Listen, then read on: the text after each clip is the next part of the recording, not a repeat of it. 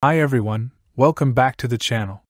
If you've just cloned your Windows system to a new drive, maybe an SSD or a larger HDD, but your PC won't boot from it, don't panic.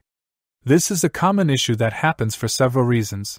In this video, I'll show you the exact steps to fix it so your computer can start smoothly from the new disk.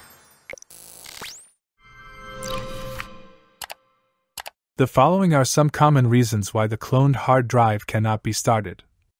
1. The SSD is connected to the PC as an external disk. 2. The cloned SSD is not marked as the start disk. 3.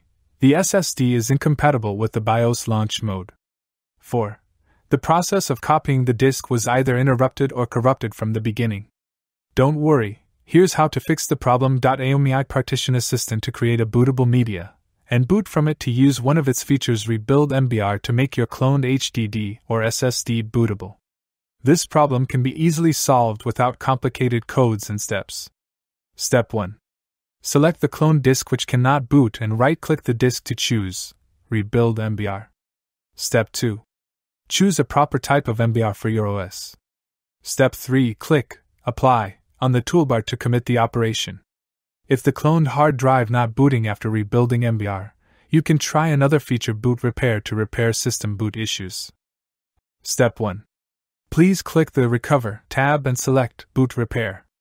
Step 2. The Boot Repair tool will pop up. Please click Next to start the system's boot entries scan process. Step 3. After the process is completed, it will display the scan result, system paths, system versions, and boot status. And all reparable boot entries will be available to select. Step 4. Select one slash multiple reparable boot entries you want to repair and click the Repair button to start the boot repair. Step 5. Wait for the repair process to finish. Once it is finished, you will get a Repair Successfully result.